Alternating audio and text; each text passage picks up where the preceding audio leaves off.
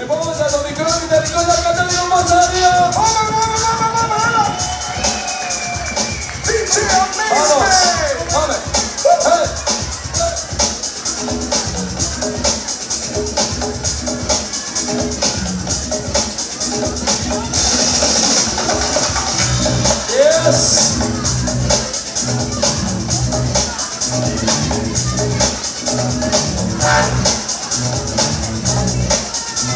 Thank